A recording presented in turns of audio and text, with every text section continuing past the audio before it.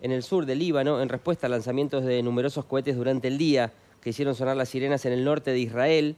Hasta 11 veces, tras las sirenas que sonaron en el norte de Israel, se identificaron varios lanzamientos que cruzaron desde el Líbano hacia el territorio israelí. En respuesta, las fuerzas de defensa de Israel atacaron el origen del fuego. Esto lo dijo un comunicado oficial de las fuerzas de seguridad de Israel. La aviación israelí también atacó un puesto de lanzamientos de proyectiles en el que lo en el que operaban terroristas de Hezbollah, así como varios puestos de observación del grupo en las zonas de Blida, de Meis el Jabal, en el sur del Líbano. Los tanques también dispararon a otra célula terrorista en Blida, según esta fuente.